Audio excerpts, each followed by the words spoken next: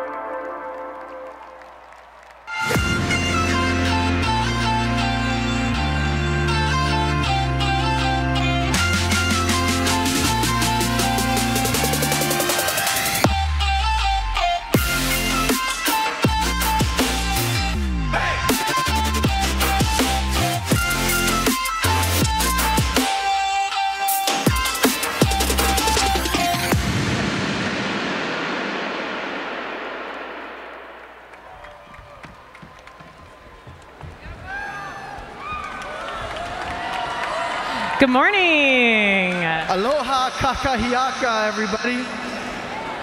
Welcome to another morning here at NYC. Wasn't last night amazing? So good. In so many ways.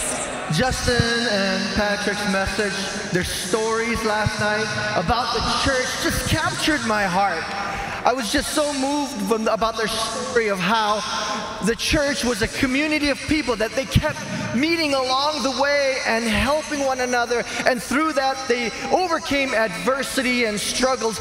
And the phrase that really stuck with me last night was with love and through the church, the impossible is possible. Wow. Say that with me. The impossible Is possible. That's great. the impossible is, is possible. And you are the church.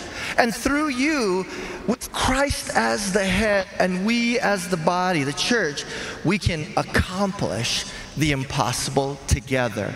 Because when we do things together, we can do so much more. But I am reminded about something about the church as the body. I woke up this morning and a part of my body was really, really hurting my heels. I have uh, tendonitis in my Achilles, and I, I had to limp from the hotel all the way here, and it was so painful. And I remember, I just realized something that the body, our bodies are imperfect, and, and sometimes they have pain within it. And, and when we look at the body of Christ, that is sometimes a reality. And if you've been in the church long enough, you might have experienced some pain in the church, maybe directed at you or somebody that you love. And if that happens, I want you to know that pain is personified because we don't expect to have pain in the body of Christ. But it happens. And today we have an activity that we want to just flesh that out and help you with that. Some of you may not have experienced that.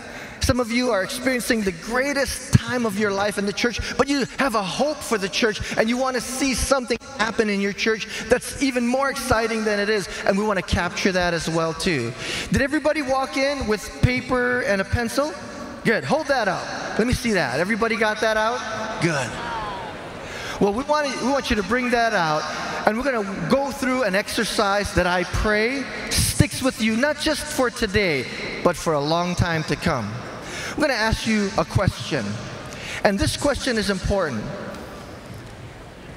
Here's the question What is it about the church that you would like to change? Now, it could be your own local church, or it could be the general church with the capital C.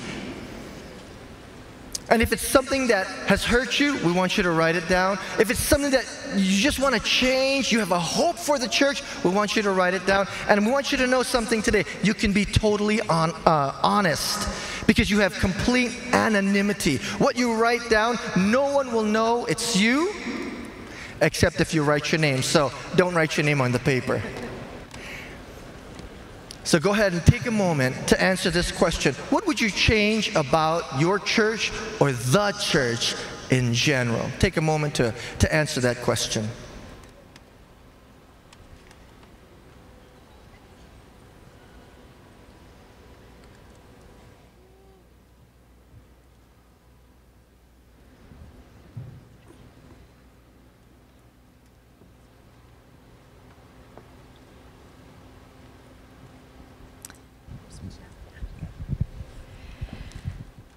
Okay, so take just another couple seconds to complete your thought. And we really hope everyone completes this. All right, if you're still writing, I'm going to give a few instructions so you can wrap up. So, something that's important as we think about our wishes, our prayers for the church, is that we know we don't bear those alone because that's the whole point of being the church is we do this thing together. And so we're going to very literally share our, our thoughts, our prayers that are on our card with each other. And we're going to sort of do it hot potato style. Royal Company is going to help us out. And as the music plays, we're going to move these around and we will, we will direct that, okay? So when the music stops, the card you have is the card you're going to work with. If you're at the very, very, very, very end, you're going to pass up and down. If you're anywhere in the middle, you're going to pass left to right. When we start, the ends are going to go down with the passing, and all of you all in the middle are going to pass left to start. Okay? I think that would be, yeah, that way. Okay? So you'll go that direction until we yell, switch. switch. When we yell switch, send it the other direction, right or up, and then we'll say switch, and you'll send it the other way. Okay? And Royal Company, when they stop, you're gonna hold the card you have. Everybody got that? Okay. Ready? Set. Set. Go! go! Down or left? Left. Everybody pass it to the left.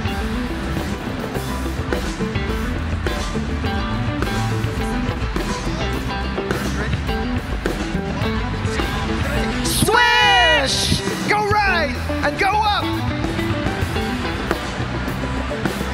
Let's do a quick switch. Ready? One, two, three. Switch! Go back the other way.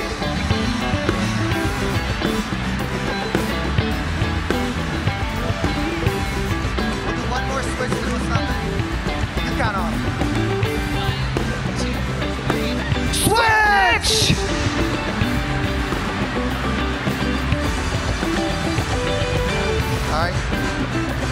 Three, stop. Okay? One, one two, two, three. three, stop! Hold a card. Okay. That's okay. We know that some of you have a couple cards, some of you have none. So if you have no card, raise your hand and help distribute everyone. Send the cards around, make sure people have a card. If you don't get a card, don't, Don't worry. worry. Don't worry, okay? Okay, here's what's gonna happen. Most of you have a card, and that's a pretty sacred thing to hold the prayer or the hope of somebody else. If you don't have a card, don't worry because you get to share in my or Gordon's request, okay? So we'll put up here mine. This is my wish for the church. I see in my work often that people are so afraid and that the church gets afraid. So, my hope for the church, what I would change, is that the church would not be motivated by fear, but live in confidence that Jesus Christ is the head of the church. Amen? Yes, that is my thing I would change. So, you can have mine. If you have no card, that's your metaphorical e card from Melissa, okay? Or you can have Gordon's. And my prayer is for the specific church in Hawaii that I was a part of. It's called the Bridge Church. And my prayer is that the Bridge Church in Hawaii would find a building of their own so that they could worship in, and that the new pastor there would lead the church into the greatest days it's ever known. I spent 20 years as the pastor of the Bridge Church, and for 20 years, we have met in a school. We don't have a place of our own. Every Sunday morning, it's set up and tear down for 20 years. And my prayer is for this beautiful church that one day you'll find a place of your own.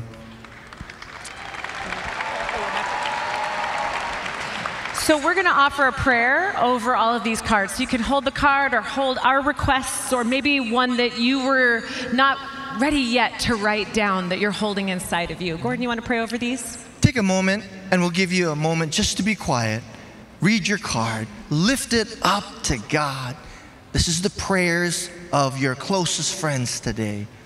And let's go to God in prayer. I'll give you a moment to pray quietly.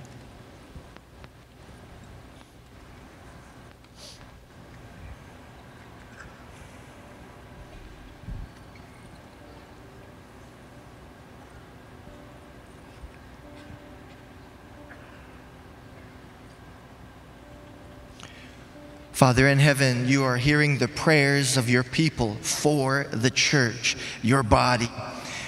Father, Father in heaven, we ask, Lord God, that as these prayers raise, rise up to heaven, that you would gather these prayers, these prayers for the church that you have given your Son his life for.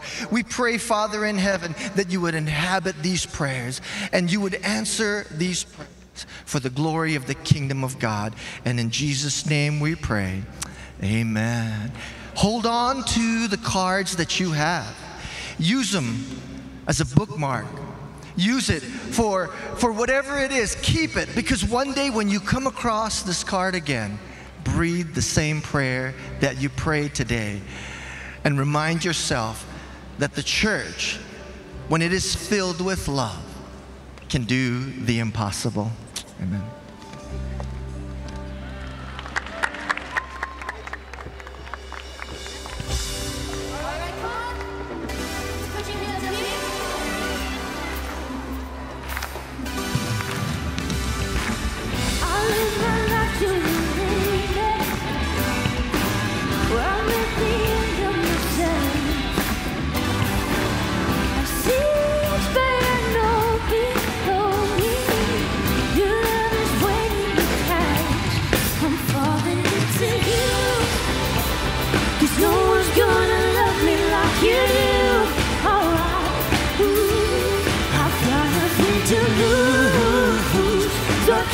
Stop,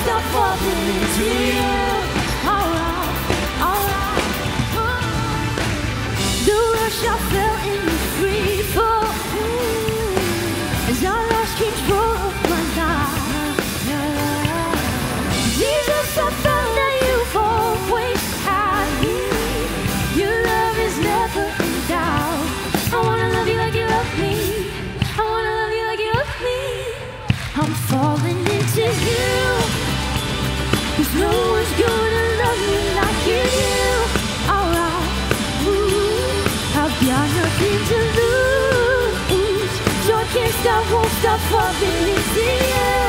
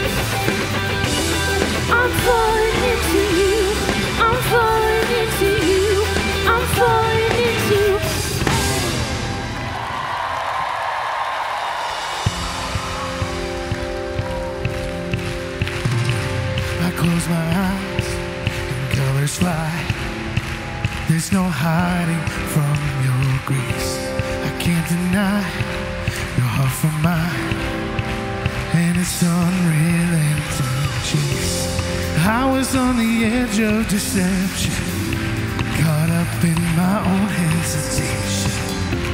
Until your love took over me. Come on, sing. So I let so I let go and I let love show me life like it's supposed to be. And oasis, here us all the freedom I'll ever need. Now I'm alive. Oh la la, oh la la. When I let go, then I find life. Oh la la, oh la la. When I let go, then I find life. You guys right here. Everybody in this section, up. Hey! Come on, everybody. Come on. Come on. You guys right here. Come on. Now you. Is calling me to a life unlike before. The Father's heart is beckoning, me, and I can't resist no more. Living in the ways of devotion. I don't wanna get caught in emotions. My heart is only for you, Lord. Come on, y'all. So I let go and I let like it's supposed to be. And oasis, here awaits us all the freedom I'll ever need. Now I'm alive. Oh la la, oh la la. When I let go, then I find life. Oh la la, oh la la. When I let go, then I find. Come on.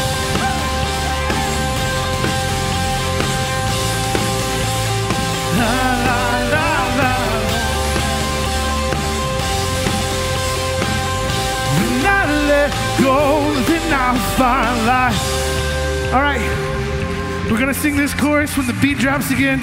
Everyone in this place, we're jumping. So I let go, and I let show me. And no way, the freedom I'll ever need.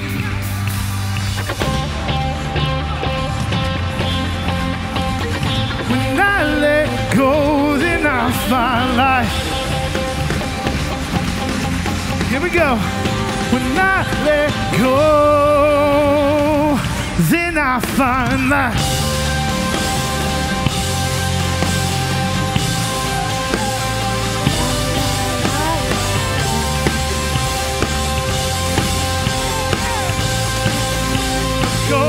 Then I find life.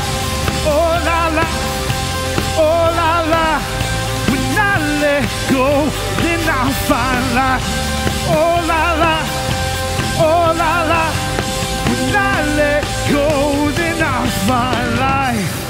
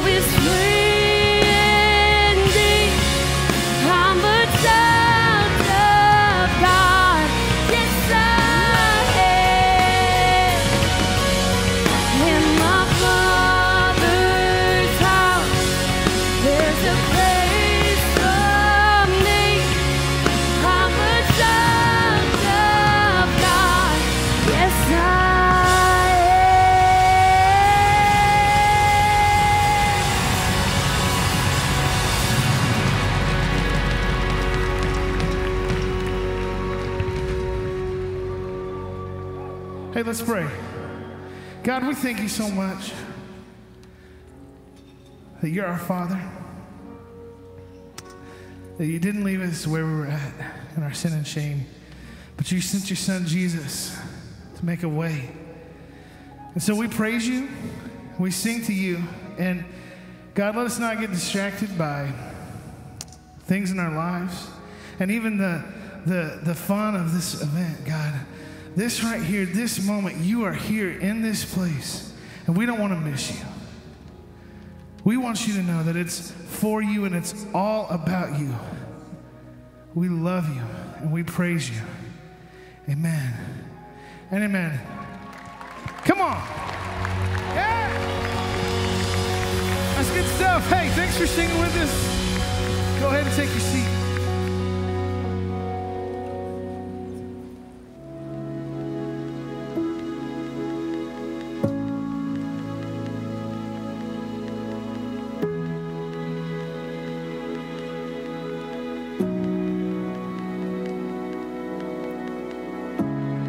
Think I used to think that holiness was uh, an arrival point. I think I just, I just thought that I was supposed to, at some point in my life, get to this point of being holy. And so I, I, I think probably from an early age, I just put that away, um, thinking I would never get to that place, thinking that, that holiness was unattainable, that holiness was a thing that I just wouldn't ever be. I think for a long time I thought I was supposed to act a certain way and be a certain way, and I had to look a certain way. And the truth of the matter is, that was the thing that was killing me, that I was pretending. I was pretending that I was okay. I was pretending that life was great. And on the inside, I was dying. Only until I found a group of people, a community of faith, where I realized, oh, I'm not alone. I'm, I'm not alone in this, this journey. I, am not doing this by myself. I, I, think it's probably everybody's natural inclination to resist uh, groups of people or anyone getting to know us. I mean, really getting to know us. Only until I let people in my life and, and let them help me, let them love me, let them nurture me, that I realized that's really what a holy life is a communal life, a life lived out in community, that I can actually live it out with people. Because I think that's God's intention, that we live a holy life in community on this journey together.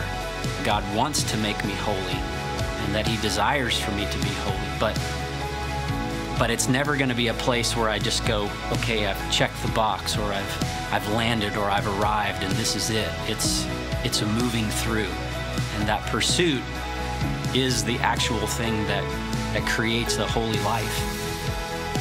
I think that the journey of, of holiness, the journey to be holy, being done in community, having people around you that help you, enables you to turn your face toward God, to turn your life toward God so that God can do the work.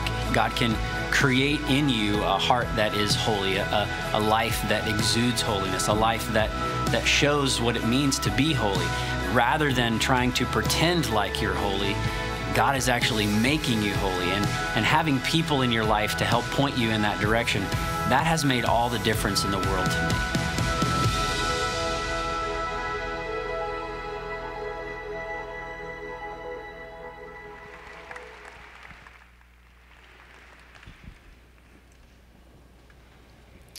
I'm reading from Psalms 51. Have mercy on me, O God, according to your unfailing love. According to your great compassion, blot out my transgressions. Wash away all my iniquity and cleanse me from your sin. For I know my transgressions, and my sin is always before me. Against you only have I sinned and done what is evil in your sight. So you are right in your verdict and justified when you judge. Surely I was sinful at birth, sinful from the time my mother conceived me. Yet you desired faithfulness. Even in the womb, you taught me wisdom in that secret place. Create in me a pure heart, O God, and renew a steadfast spirit within me. Do not cast me from your presence or take your Holy Spirit from me. Restore to me the joy of your salvation and grant me a willing spirit to sustain me.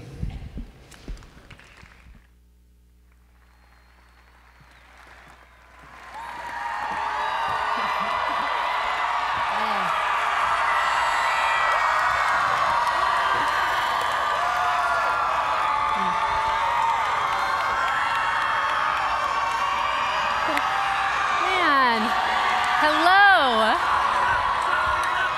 Hey, NYC.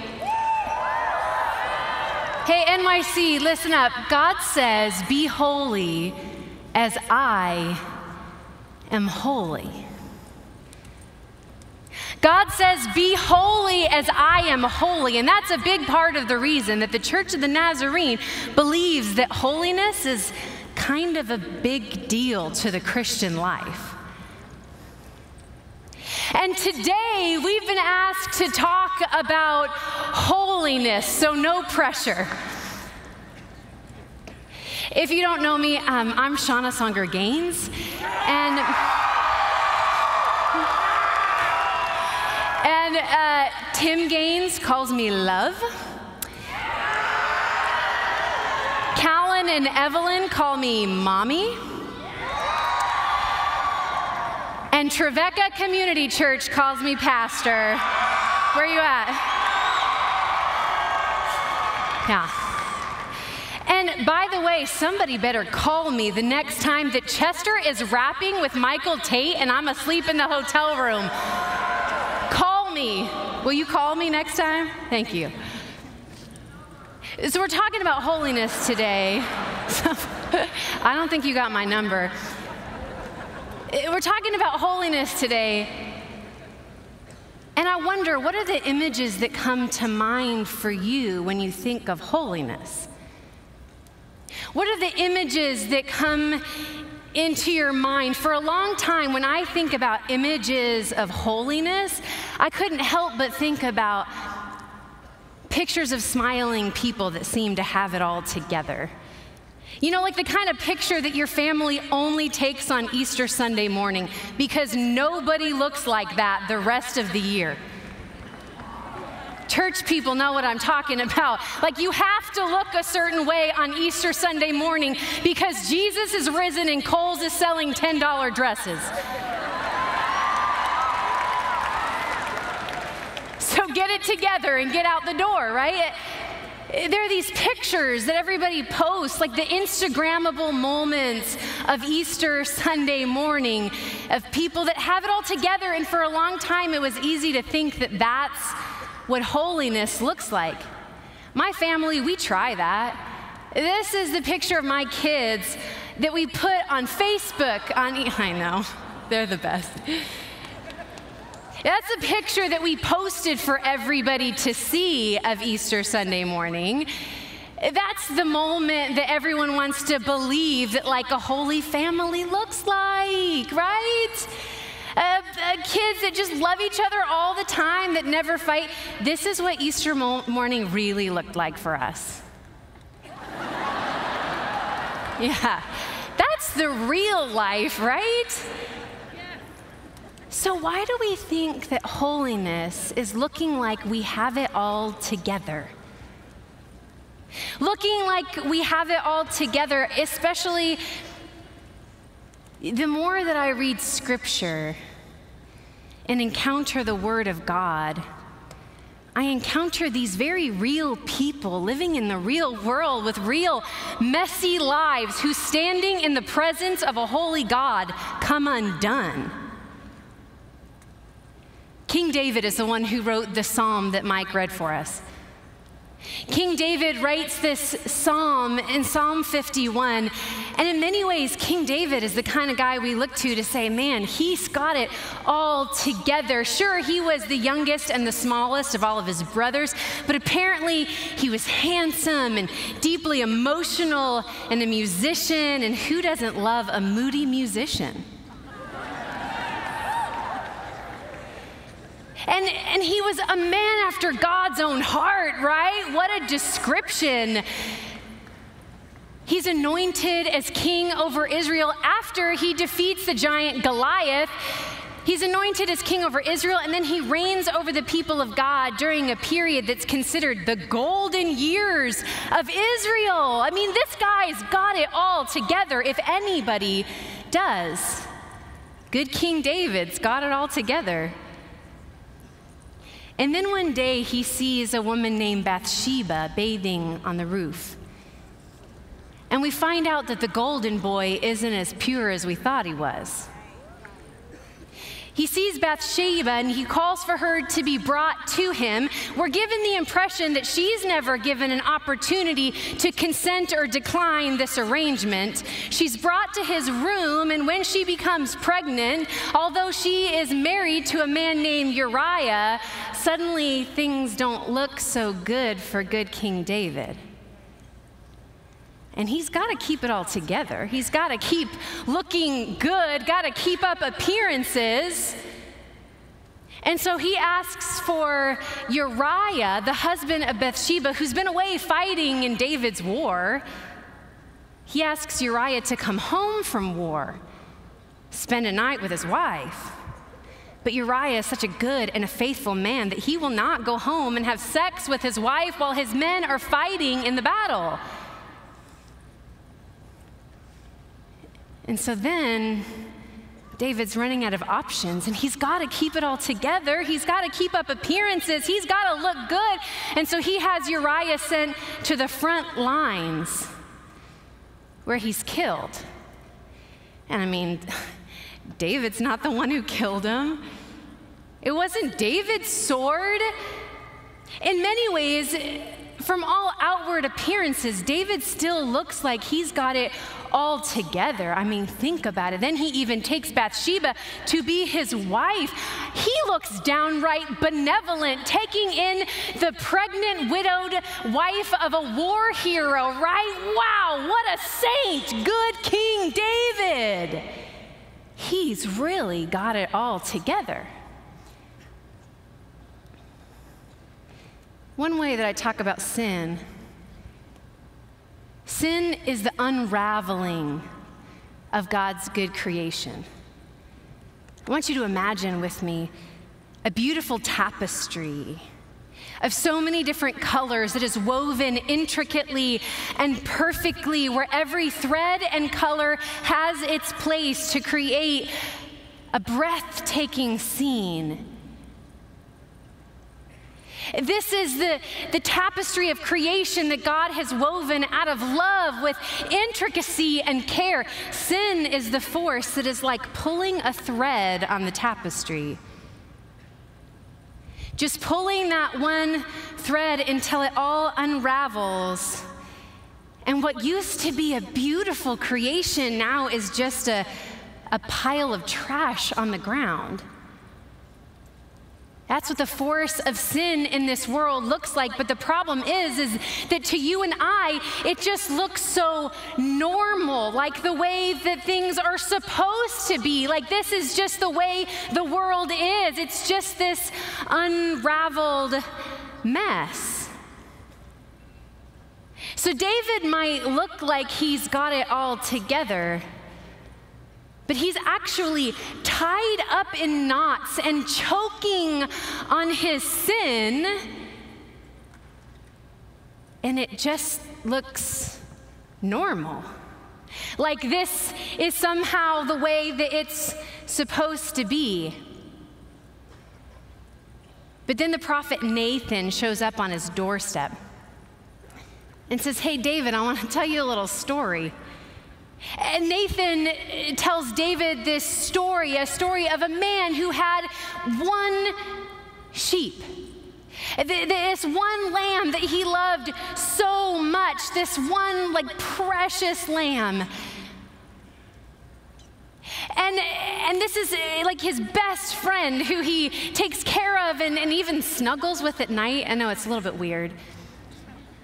But he loves this one little sheep. And, and then there's a rich man who's got it all, who's got everything he could ever want, and he's got like hundreds of sheep. And the rich man sees the lamb that the poor man has and takes it from him. And David is listening to this story and he is enraged. He's absolutely enraged and he says, Who is this man? Could anybody be such a monster to do such a thing? Until Nathan reveals that the story is really about him and what he's done to Bathsheba and Uriah. And now David is just bewildered, like his world is turned upside down. He doesn't know up from down and right and left.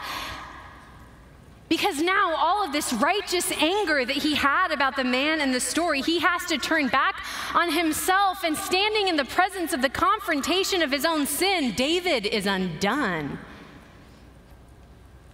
Psalm 51 is the song of David's undoing.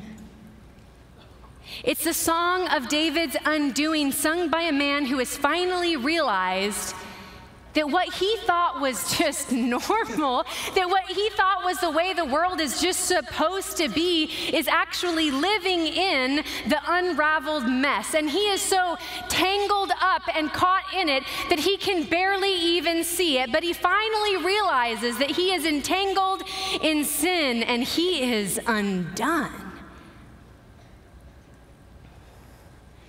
This last year, I had the opportunity to to visit the lynching memorial in Montgomery, Alabama. It was a part of a week long experience where we were looking at different civil rights sites all over the South. And we went to this lynching memorial. I don't know about you, I learned about lynchings in my American history class. To me, it seemed like this ugly part of our past that I'd rather not talk about because it makes me real uncomfortable. Maybe it does for you too, and you're thinking, man, I hope this is a short story. I mean, going into this, this trip, and particularly going to the lynching memorial, I was really uncomfortable, pretty nervous, because as a white girl, I felt this sense that, like, anything that I did or said just might make people think that I'm a racist. And so my whole like goal and objective for the day was just to make sure that nobody thought that I was a racist. Because, I mean, I'm not a racist, I'm a pastor. I've got it all together. Before we went to the lynching memorial, however, we went into a museum where I read about a woman named Elizabeth Lawrence. Elizabeth Lawrence was a school teacher in the segregated South. She was a school teacher at an all African American school. Schools were segregated white kids, black kids. And one day she's walking home from school after, I'm sure, teaching all day, and this group of white children start teasing her, and then they start throwing things at her and calling her names.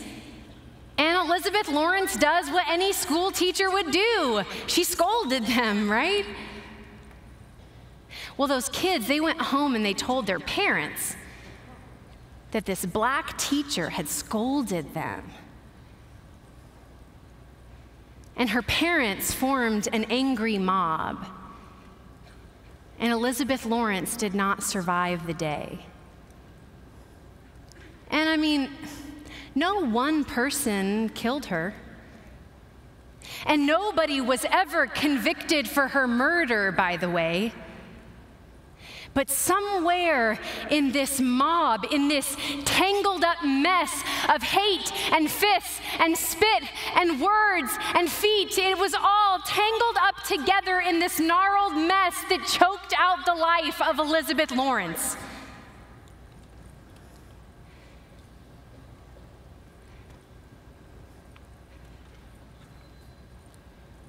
Standing there that day, I was looking for her name engraved on one of these iron blocks that are just hanging from the ceiling. I was looking for her name on one of these blocks, and then finally somebody pointed it out to me. And I came and stood, and, and I just looked at her name hanging above my head like the onlookers might have gazed at the bodies hanging from trees. And I can't tell you exactly what happened that day. In fact, the only word I have to describe it is simply that I came undone. I was confronted by the fact in this moment that I am tangled up and choking in the same mess of sin that killed Elizabeth Lawrence. And here I am standing in this lynching memorial, and I'm more concerned about whether or not people think that I'm a racist than I am about actually confronting the reality of racism that is still choking out the lives of the sons and daughters of Elizabeth Lawrence.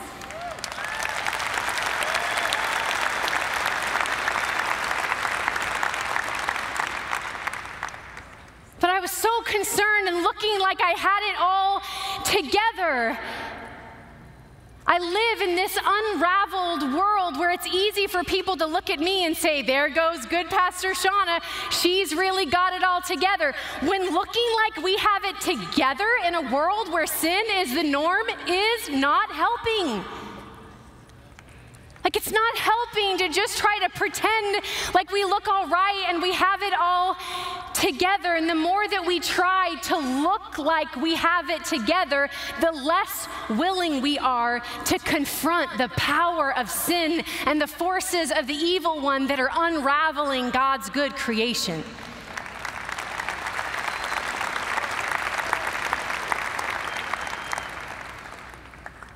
That day, I had to confess that I was a part of the problem, tangled up in the mess, and I came undone. Confession is the beginning of our undoing. David is confronted by Nathan standing in his lovely palace next to his beautiful pregnant new wife, and he is confronted with the sin that he is tangled up in and he is undone. He realizes that this fairy tale that he's living in is actually soaked in the blood of a man named Uriah, and he is undone. This prayer that he prays in Psalm 51, it begins with confession.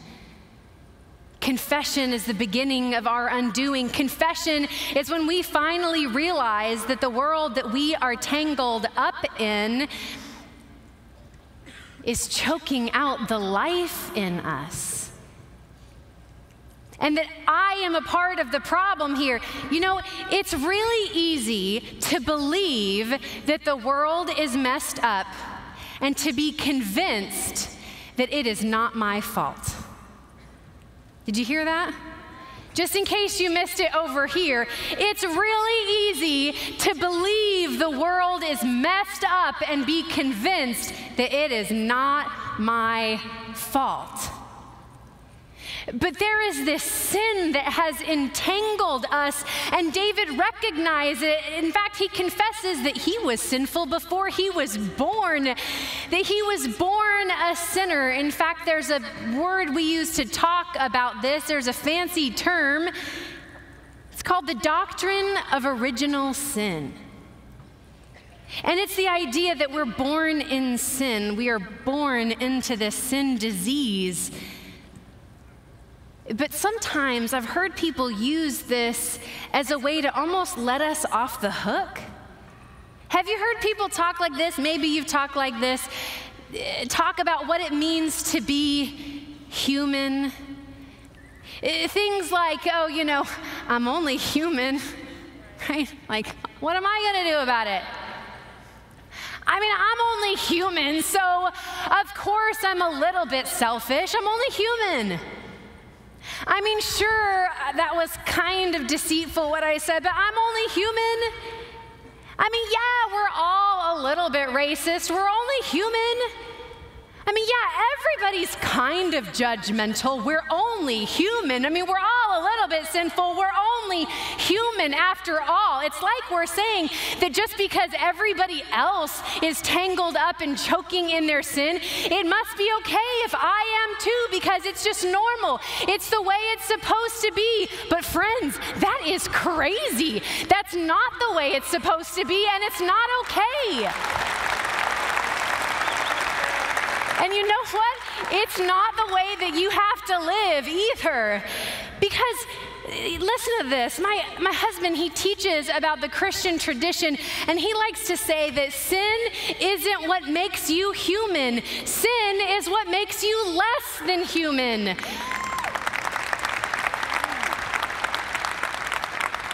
And here's what makes you human what makes you human is that you are made in the image of God. Amen. That is what it is to be human, is to be a person who is loved by God and made in God's image, intricately and lovingly woven into the fabric of this beautiful creation that God is crazy about. That's what it means to be human. That's who you are. You were created in God's image because God loves you so much. God wants you to be freed from the knots of sin that are strangling out the life that God breathed into you in the Holy Spirit. In Psalm 51, this prayer of confession is inviting you to come undone to the power of sin that is tying you up in knots and strangling the life out of you. As a believer in Jesus Christ, you, you are already reconciled to God in Jesus Christ. But that doesn't mean that we can't still stand back and take a look at the world around us and recognize that we are caught up, tangled up, ensnared in some cultures and systems, patterns and behaviors that are using, abusing, killing, strangling the life out of ourselves and the people that God loves and the world around us to take a step back and to confess this world that we are living in because God's love for you, God's love for you is also for Him and for her and for Bathsheba and Uriah and Elizabeth Lawrence the love of God for all of creation. After David has come undone, he asks God to create in him a clean heart, to give him a brand new spirit, uh, to put new breath in him, to bring him back to life. In fact, the Hebrew word that he uses there in Psalm 51 it's a verb that is only ever used in all of the Old Testament to describe the action of God. This isn't just create like you create a macaroni necklace for your mom on Mother's Day. This is creation like in the beginning God created kind of stuff. He is asking God to do what only God can do, to make him a brand new creation to bring him to new life.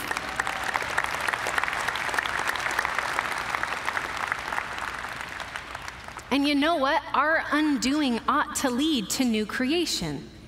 That's, what's da- that's what David is asking for.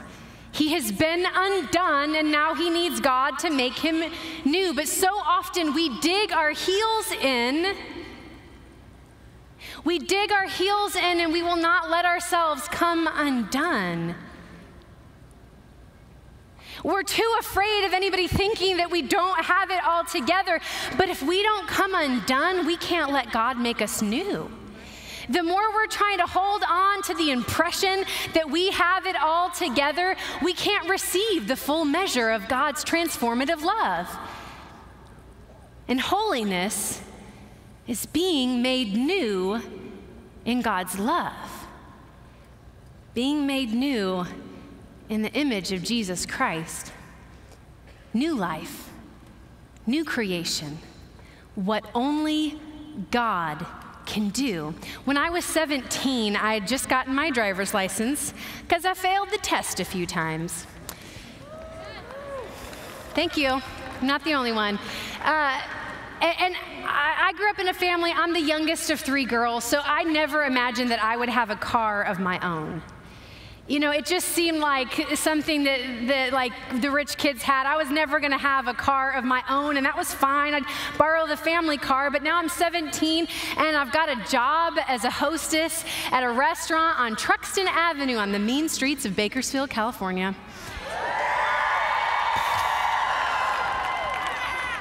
And and I need to get to work and I need to get to school and I need to get to all the church activities and it, and it was becoming kind of tough to get to everything. My grandpa Joe had just restored a 1988 red Isuzu Trooper. It's an image of the new creation. He had just restored this Isuzu Trooper, and my grandpa obviously loved this car. He loves cars in general, but he loved this car. And I loved this car. And so he'd start saying, Hey, Shawna, why don't you go ahead and we, we called it Big Red, obviously, as you should.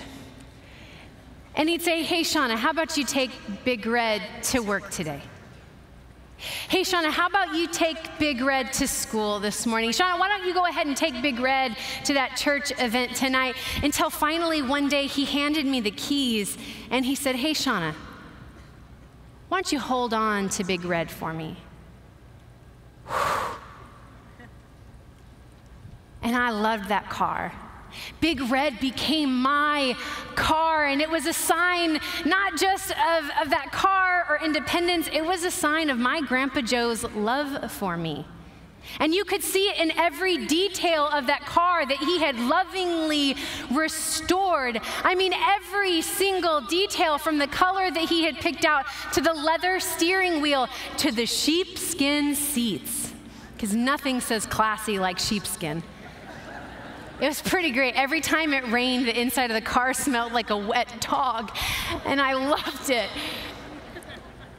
I mean, every detail. He'd even taken out uh, the, the like radio tape deck in 1988, uh, the, the radio tape deck because he didn't want me to get distracted while I was driving. Grandpa Joe could see all of you looking up cat videos on YouTube when you're at a red light. I mean, every detail of that car, I could see his love for me. And I loved that car. I, I loved my Grandpa Joe, and my Grandpa Joe loved me. One night I was driving home late through downtown Bakersfield, a part of the city where the lights are very close together, and I was tired and I was looking at the light that was 200 yards away instead of the light that was right in front of me. That light was green, but the one right in front of me was red. And I cruised through that intersection at about 40 miles an hour, and I T boned a suburban. I blacked out and I came to, and the officers pried the door off of Big Red and helped me to the sidewalk. Incredibly, nobody was seriously injured. And I sat there on the sidewalk that night. My only thought is, how am I going to tell Grandpa Joe? This isn't just a car, this is like a sign of his love for me. How am I going to tell Grandpa Joe that I have wrecked Big Red, not just a fender bender, not just let's iron it out in the shop, like it is destroyed, it is totaled. How am I going to tell Grandpa Joe? And certainly, like there was no way in a million years that I could ask my Grandpa Joe to build it for me again. I mean, that would have been crazy. That that would have been insane to ask him to do something like that after all the care and love and attention that he put into that car. To have the audacity to ask him to make me a new one. But do you know what my Grandpa Joe did? He rebuilt that car from the inside out. New bodywork, new steering wheel, new engine. It was like a brand new car. He rebuilt that car in love. It was his gift of love for me. Holiness is God's gift of love for you. And today I want to invite you that if you are tangled up in some of those knots that are choking the life out of you, keep, keeping you from catching deeply a breath of the Holy Spirit, that it's okay to let go. To let go of the things that are entangling you, to the knots that are tying you up and holding you back, to confess and to come undone.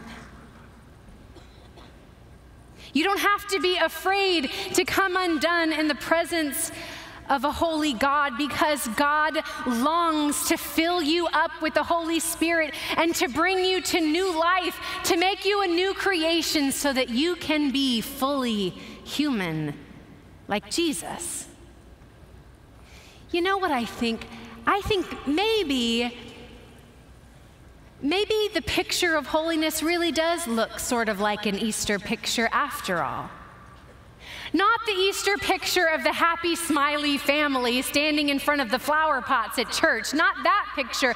But maybe it really does look like the Easter picture of Jesus out of the resurrection when he comes out of the tomb, still bearing the scars in his hands and in his side the scars that remind us that God came undone for us.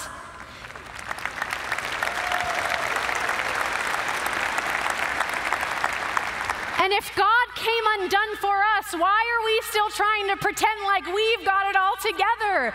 We don't have to pretend anymore. Being a holiness people is not about having the, the stock photo picture of a perfect life. That's just not what it is. Holiness is being made new in the image of God, and it might just look a little bit crazy. It might not look normal. In fact, it might seem like your life has come undone in the best possible way. My 15 year old self, 20 years ago, in a stadium in Toronto, Canada in 1999, could not have imagined. At that NYC, when I was 15 years old, I could not have imagined the wild journey that I would be on as God filled me with the wild wind of the Holy Spirit I could not have imagined what my life would look like once I'd come undone. What might your life look like when you come undone? Stop trying to pretend like you have it all together and all figured out. I know it might sound scary to let go, to let go of those knots that you've been holding on to for so very long.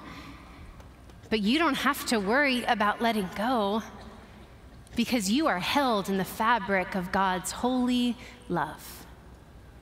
Would you stand? Here's what I'd like to invite you to do. Go ahead and put out your hands, palm side up, so that you can see that these hands of yours, they are empty. They are holding nothing. I want you to go ahead and close your eyes. And now, with these empty hands of yours,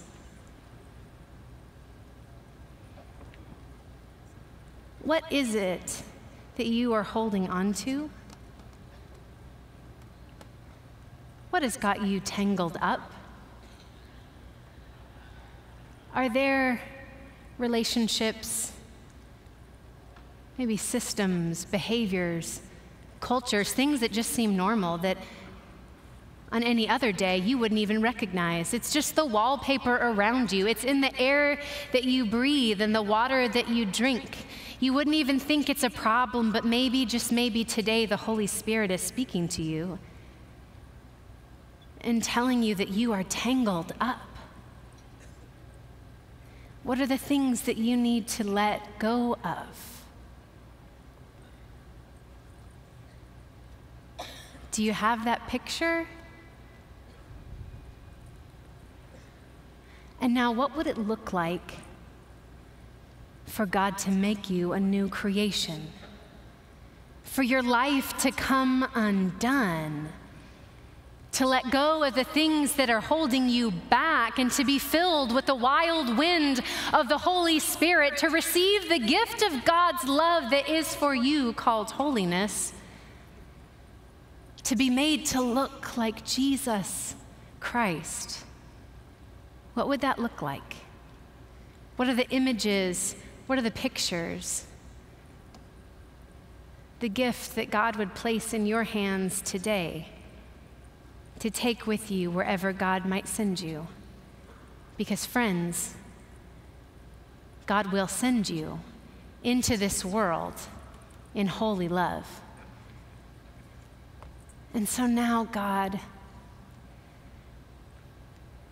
creator, redeemer, life giver, Lord, we ask today that your Holy Spirit would fall upon sons and daughters like you promised, like you showed us in the day of Pentecost, that you would fall upon your sons and daughters. Lord, would you bring forth from their life the fruit of holiness? Would you bring forth from their life the prophecies of love? Would you bring forth from their life the gift of service?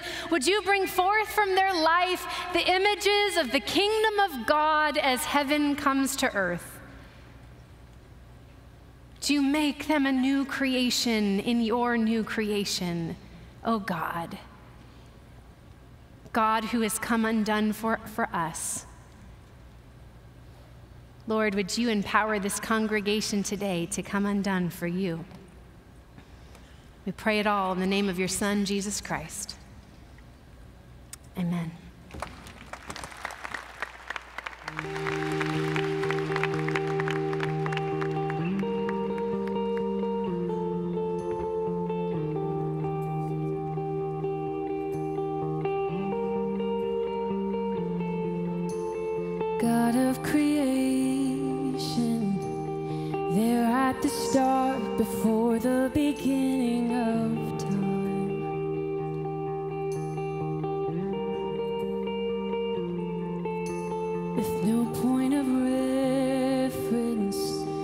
Spoke to the dark and fleshed out the wonder of light.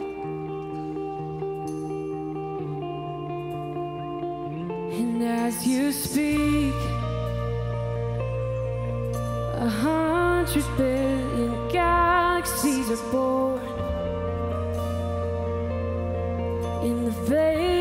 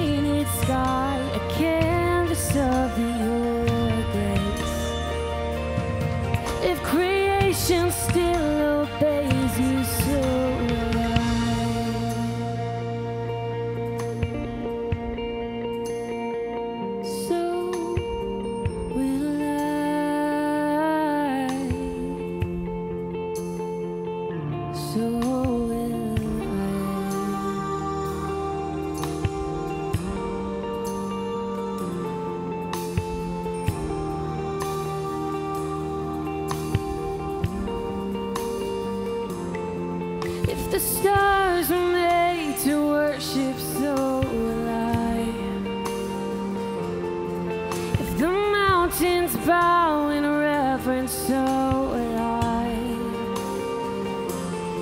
If the oceans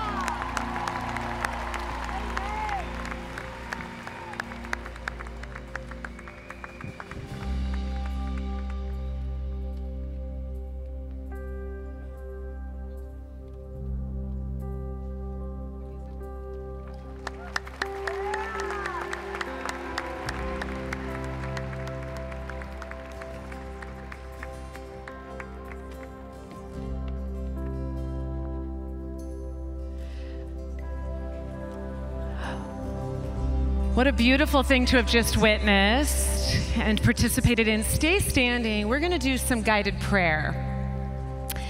And we're going to move through three different sections of praying together.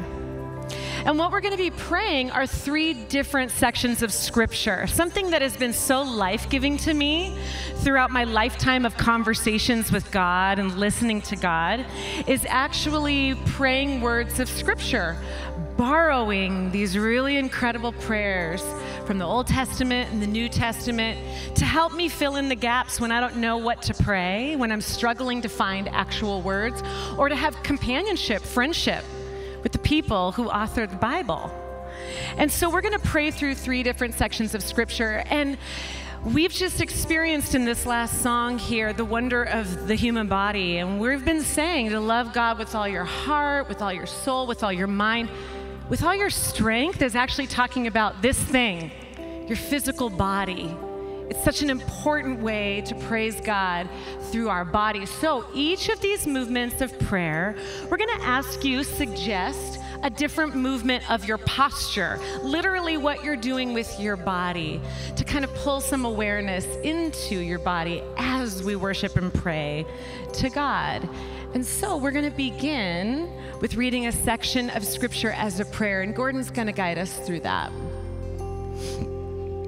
If it is possible for you, where you're at, on the floor, you may want to flip up the seat that you're in and take a posture of kneeling.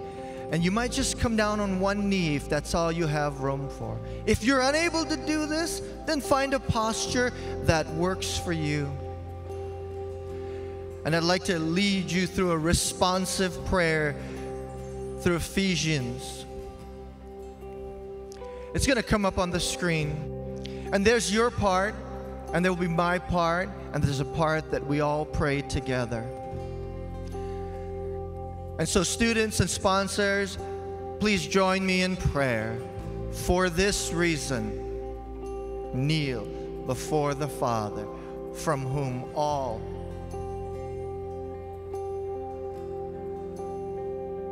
And I pray that out of the glorious riches, He may strengthen us with power through His Spirit in our inner being, so that Christ may dwell in our hearts through faith. Let's pray. And we pray.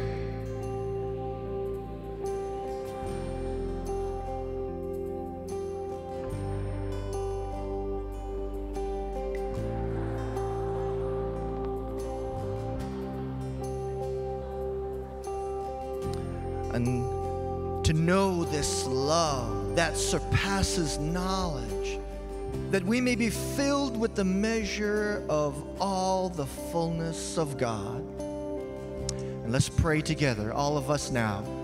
Now to Him who is able to do immeasurably more than all we can ask or imagine, according to His power that is at work within us. To Him be the glory in the church and in Christ Jesus throughout all generations, forever and ever. Amen. Amen. And now we're going to ask you to change posture. If you want to stand, if you want to sit, if you want to raise your hands, we're going to offer a prayer for the world. And when we say pray for the world, that can feel like a really big, generic, kind of vague thing. We believe it's really important to think about specific things when we pray. So we're going to call you to focus on something that, that is happening in the world that is not right. Something that's become unraveled that needs God to help it become new again. Maybe there's a burden on your heart for human trafficking and those caught in the trap of slavery. Maybe something that pulls at you a need for the world is those that live in unsafe situations in their own homes. Maybe you are so concerned about those who are in detention centers right now and are separated from their families, or your heart is for those on the move. Whatever it is, we ask you to focus on that as we pray through the Beatitudes together. Okay, so on the screen will be your part and my part as I lead us. Blessed are the poor in spirit, for theirs. Blessed are those who mourn. Blessed are the meek. Blessed are those who hunger and thirst for righteousness. Blessed are the merciful. Blessed are the pure in heart. Blessed are the peacemakers. And blessed are those who are persecuted because of righteousness. Amen. At this time, we're going to pray the Lord's Prayer. And this posture we'd like for you to take is to be unified because this is a prayer that Jesus gave for the church, that the kingdom of God would be unified in us. And so you may want to take a hand or touch a shoulder, reach forward to the person in front of you. And let's all pray this prayer together in unison. Our, Our Father, Father in heaven, hallowed be your name. Your kingdom come, your will be done, on earth as it is in heaven. And give us today our daily bread. And forgive us of our sins, as we also have forgiven those who have sinned against us. And lead us not into temptation, but deliver us from the evil one. For yours is the kingdom and the power and the glory forever. Amen. And as our final prayer together, we're going to pray the words of Deuteronomy. Yeah, we can clap now.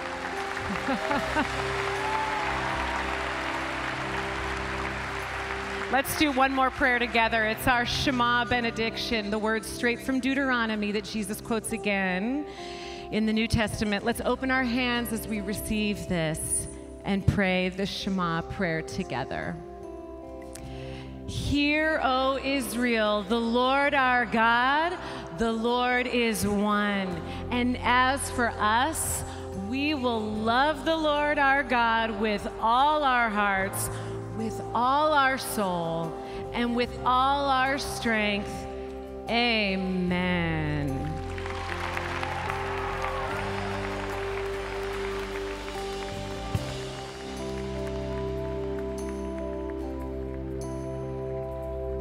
Come on, let's sing this together. From the darkness, I call your name.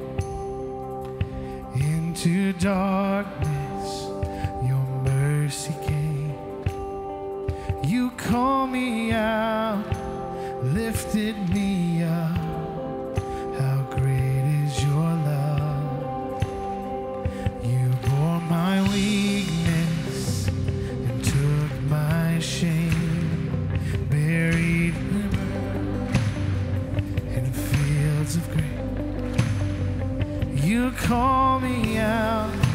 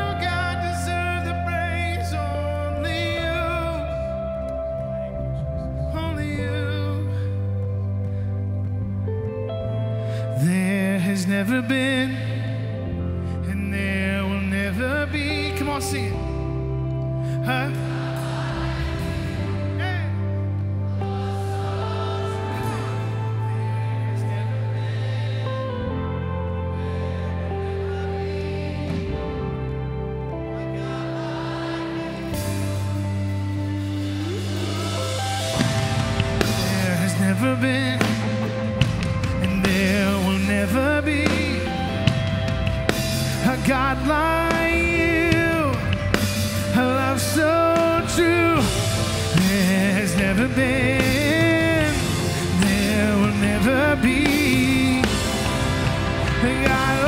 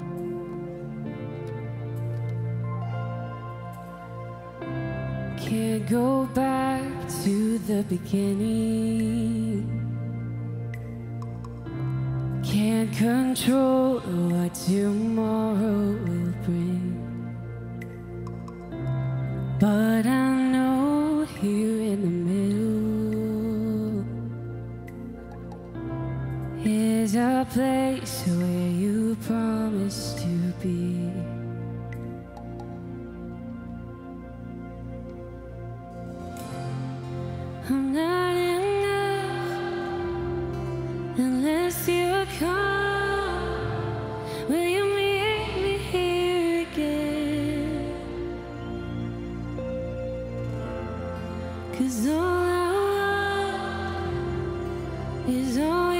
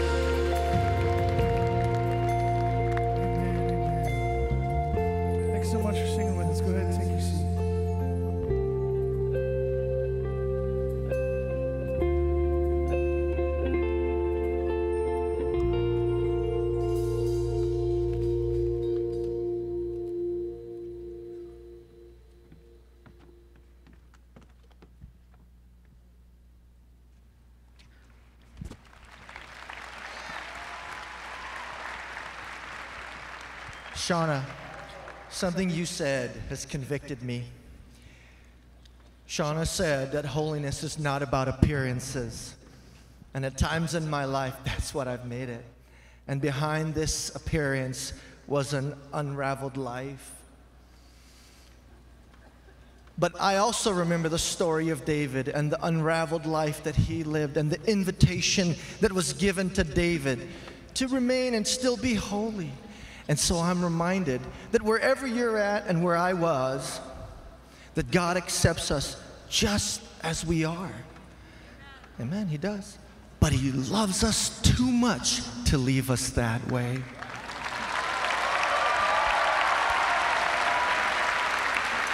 And the Apostle Paul tells us that if anyone is in Christ, they are a new creation. My prayer is that you receive that invitation to be a new creation, to enter into a life of holiness for the glory of God. That's so good, Gordon. And as Shawna has brought to us today from the Word of God, we are being made new creation. And because we're made in the image of God and God is in the business of restoring creation, then if we're made in the image of God, we get to be a part of restoring creation too, which is so cool. And that is a huge part of what our MWO work is about. It is about helping to restore all of creation. And so if you're going to an MWO today, stand up because we want to pray for you. So stand up. Also, these districts are going to the experience Kansas City, Alabama South, and Oregon Pacific. So, Kansas City, Alabama South, Oregon Pacific. Go ahead and stand up as well, because we're going to send you in just a moment when we send the MWO people. But let's pray over those who are going to be serving in the community and experiencing the experience today. Let's pray. God, we have been having such an incredible morning, another amazing moment of sensing your spirit so powerfully in our midst. We cannot deny that you have been and are here. And so we take full confidence and trust in knowing that you're going to go with us wherever we go today. And we want to pray a special prayer of blessing over those who are going to be serving in the community, serving right here in some of our NYC spaces, getting things ready to ship abroad as they're learning about the work that you're doing around the world through your servants in all corners of the globe. And we know, God, that as we get a little bit into NYC, our energy is not quite as full as it once was. And so we ask for an extra measure of energy and focus, of patience and joy, and over all these things, love. As we serve wherever we find ourselves today, whether at an MWO or playing a game in the rec hall, that we would be filled with your love and motivated to serve wherever we are. It's in your name, Jesus, that we pray. Amen. Amen.